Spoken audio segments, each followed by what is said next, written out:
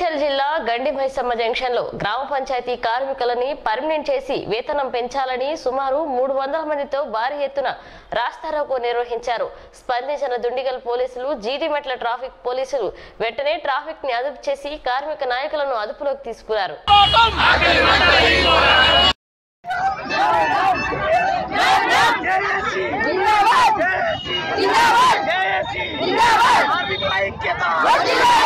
పట్టుకో